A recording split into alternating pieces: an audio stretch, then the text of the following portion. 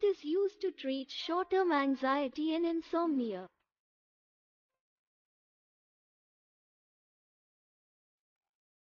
It works by increasing the action of a chemical messenger, GABA, which suppresses the abnormal and excessive activity of the nerve cells in the brain.